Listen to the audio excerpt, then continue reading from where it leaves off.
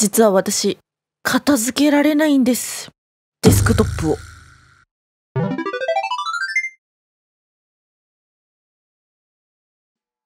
はい。皆さんこんにちは。こんばんは。藤田美しろでございます。さあ本日は、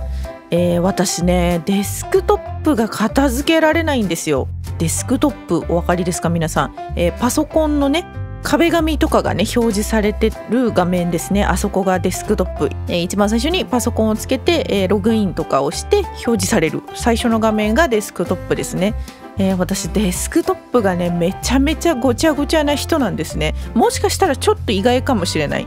はい。なんか多分ねしっかりしてるとかちゃんとしてるとかよくそういうイメージを持たれがちなんでもしかしたら意外かもしれない。あの会社に行ってた時はですねこういうふうに名前を付けて保存するとかこういうフォルダにしまうとかそういうのがやっぱり会社ですからあの徹底されてたんでさすがに守れてたんですけどあの自宅でですね自分のパソコンを使う時に私 Mac と Windows とパソコンを使う両方使ってるんですけどもどっちもごちゃごちゃなのね。でこれをねなんとか直したくて頑張ってフォルダにこうちゃんと分けてしまう時期もあるんですけど気づくとこう壁紙が全部アイコンで埋まってる状態に なりがちなんですよね。で一旦この話は置いといてあの私結構家の片付けはですねそんなに嫌いじゃないと思ってるんです。まあ、ま、るちゃんがいるからっていうのもねレグーのまるちゃんがいるからっていうのもあるんですけどめちゃめちゃ毛とかまるちゃんの毛とかあんなちっちゃいのにねすっごい毛が舞うんだよ。まるちゃんの毛とかあとまるちゃん砂浴びをする生き物なんですごく細かいサラサラのお砂をね毎日それがお風呂なんでまるちゃんにとっては。お砂をこう浴びてくるんくるんくるんってお砂の中で回ってめっちゃ砂が舞うみたいな え状態になるのでもうすごい掃除しないと砂ほこり毛まみれになるんで、まあ、その辺はちゃんと掃除したりとか、まあ、片付けたりとかは割とする方だとは思うんですけどあちなみに全然潔癖症ではないですね。はい。潔癖症まあ私体が弱いんでウイルスという点では気にすることは多いですけど基本的に全然潔癖症というわけではね、えー、ないんですけどそう、まあ、掃除とかその部屋の片付けとかはまあする方だと思うんですけどあのエアコンとかもね、まあ、しょっちゅうエアコン掃除したっていうのをよくツイッター X に書いてるんですけどエアコンは、最低でも月に1回は最近気づいたね中のあのなんか回ってるファンがめっちゃ汚いってことに最近気づいてこれはまずいと思って気づいてからファンをめっちゃ掃除するようになりまして一生懸命中ねエアコン止めてこのエアコンの隙間からなんかモップを差し込んでめちゃくちゃこうファンを掃除するっていうねいうのをやったりとかフィルターめっちゃ洗ったりとかそのなんか家電あと扇風機っていうかサーキュレーター、えー、サーキュレーターもあのめちゃめちゃ汚れるんでしょっちゅうこうネジ外しては中をあの拭いたりとかね、えー、してるんですけどあとキーボードとかもめちゃくちゃこう綿棒で掃除するみたいなタイプなんですけどデスクトップが片付けられないんですよね。でこれ近いものがそのパソコン以外で私一つ見つけましてあの引き出しの中身とかもあんま綺麗じゃないのよ。なんかね一時期はすごい綺麗にこの服はここみたいな長袖はここなんかズボンはここみたいなめちゃくちゃ分けて綺麗にしまってた時期もあるんだけど今はねちょっとタンスは本当に突っ込むだけ状態。あのしまわれてはいるんだけど表に出しっぱなしとかはないんだけど基本的にあのその片付けはするんだけど入ってれば OK みたいなとこはある。だからそれが多分ねパソコンのデスクトップと近い状態なんじゃないかと思うわけ。でなんかこうやって言うと目に見えるところだけ綺麗にするみたいな感じあるじゃん。だけどエアコンのフィルターとかって目に見える部分、まあ、パッと目に見える部分ではないわけじゃないですか。だからそれはそれでまた別なのよ。だからねそう多分パソコンのデスクトップとタンスの中身がごちゃごちゃっていうのは割と近いかなと思ってるんですけどそう。だからねなんかこうきっちりしてるところときっちりしてないところの差がめちゃめちゃ激しいの多分。でね私は考えた。なぜパソコンの周りとか机とか毎日こうモップとかかけてるのになぜデスクトップがごちゃごちゃなのかっていうのをねまたよく考えてたんですけど最近。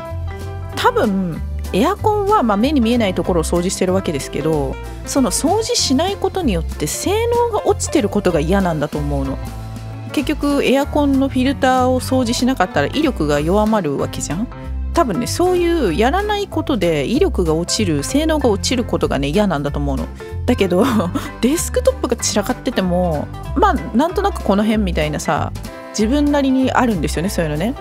だからあんま困ってないんだと思うんだよね。いや実際のところはちょっと困ってるのよ。この間もあの動画のサムネイルこう動画を見るときに最初に表示される画面あるじゃないですか。あの画像をさ作ってるんだけどでイラストレーターっていうソフトでね作ってるんですけどでちょっとイラストレーターのこと今からいられって略しますね。で、えっと、そのいられのねデータであの、まあ、お見せしますけど、まあ、こういうアイコンなんですよ。で名前がついてるんだけど直近のねサムネイルをまあ5本分ぐらいは保存そのデータを保存してるんでそれより前のものだともう何ていうのもう編集できないもう書き出した画像だけを保存してもう直すことはできないみたいなね、えー、状態になっててまだ直せる手直しができる状態のそのいられのデータっていうのは5本分ぐらいはえー、残してるんですけどそれが今やってるライブとか動画とかが全部5本分ずつぐらいあるから結構な量なわけ。でそれがデスクトップにバーってなってるのね。で名前も結構私長めの名前をつけるんさ。だからこうパッと見て名前だけで判断できないのよね。だからそれがまあバーってあって結構探すのまあ時間かかる時もあるんよ。なんかあこれってすぐ見つかる時もあるんだけどだからまあ結局のところデスクトップが散らかってることによって私の効率が落ちてるわけじゃないですか。だからなんとかしろよと思うんですけどなんとかできないんだよね。このなんとかできないこれをなんとかするアドバイスを皆さんにぜひいただきたい。なんかありませんか？こういう経験。何でもいいんです。別に片付けとかじゃなくても何かのことを、まあ、やめられたとか、まあ、逆に始められたとかそのきっかけみたいなもの何で心が動くのかなと思ってそのとにかくエアコンに関してはちょっとエアコンしか今いい例がないんでそうエアコンに関しては多分ねそのエアコンの性能が落ちる威力が弱まるっていうのがあるわけだけどそのさらに元を正すと多分まるちゃんにいつも適温を届けたいと思ってるからだから私はやるんだと思うの。そうだけどデスクトップは自分のためじゃん。自分のためにこれをやった方がいいぞみたいなのが後回しなんかなって感じ。でもさそのさやっぱ探す手間がほんの1分でもさ削減できたらさ塵も積もればというかその積み重ねで結構なんかね変わったりすると思うしあとね結局その散らかってるからうっかり削除しちゃう時があるんよね。そうこの間も、えーと、サムネのデータをうっかり1個削除してしまいましてあの頑張って一から元の画像を参考にしながら作り直したりとかねそういうアホなこととかもやるわけですよ。結局散らかってるからなの。もうちょっと効率的になんか良くなればさ こんなことは起きないと思うんだけど。これをねどうすればいいと思う？もういいタンスはいいよ。タンスはね正直ねそうタンスに関しては本当にあのタンスの中身が整ってなくても外に出ないから困ってないのよ。なんか結局のところごちゃごちゃなんだけど特に動画撮る時に着る服は全部ハンガーにかけてるからあのもうパッと見たら分かるじゃんハンガーだからだから。迷わない。であのどうでもいいそのスーパー行く時とかえちょっとその辺行く時みたいな服はタンスに乱雑に突っ込まれてるんだけど正直どれ取ってもどれ着ても自分が困らないからもう目についたやつでいいから困ってないのよだからこれはもういいこれはここまでやってたらそうあんまりさ何もかも完璧にするっていうのもさあの逆にストレスになるんで私は別にもうそこに関してはいいっていいって思ってるからそれはいいとしてデスクトップ片付けたいっていうかあれだよね。何がめんどくさいんだろうね。例えば一個一個分かりやすい名前をつけてフォルダに保存するっていう作業を毎回すればいいわけじゃん。結局それを怠ってるのはそれがめんどくさいからだよね。そうなんですよね。Mac もさ Windows も両方だからやばいのよ。Mac とかも今まで作った曲のデータとかがデスクトップにバーなってんの。これだけはやってんの。最初に日付をつけるようにしてるからこれね会社にいた時の これは会社にいた時の名前の付け方で今もあの染みついてるからやってるんだけど一応その作ったものの最初にそう音楽に関しては日付を入れてるからままだ分かりやすいとこはあるんだけどそううっかり捨てちゃったらやばいからなんとかしたいわけよね。だから皆さんにね是非、えーまあ、デスクトップとか片付けにね限らず何かを始めたかった何かをやめたかった時にこういうきっかけがあったからできたよっていうのを教えていただきたいですね。まあでもおそらくなんだけど人の力というかがないと無理なんじゃないかなと思うんですよね。例えばだけど月に1回デスクトップの状況を皆さんに報告するとかね。そういう結局ものがないと無理なのかなってちょっと